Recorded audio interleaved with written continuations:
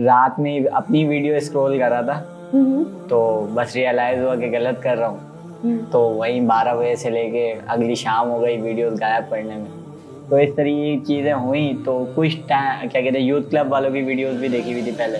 आपको क्रिटिसाइज करते हैं बोलते हैं।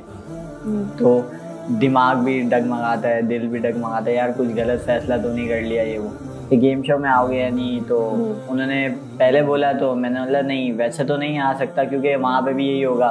कोई दो तीन ऐसे आए जिनके ऑफिशियल अकाउंट थे जिनकी लड़कियों की वीडियोस अपलोड की हम्म, उन्होंने अपने अकाउंट ही डीएक्टिवेट कर दिए सिर्फ़ मेरी इस पोस्ट को देख। अब दोस्त जो मेरे हैं ना उनका कॉन्सेप्ट ये सेट हुआ हुआ है कि यार अगर हम छोड़ देंगे हमारी रोज़ी कहाँ चाहिए वो? मैं नसीहत तो यही करना चाहूँगा कि बस गुना को गुना समझो बाकी खुद ही सेट हो जाएगा सब।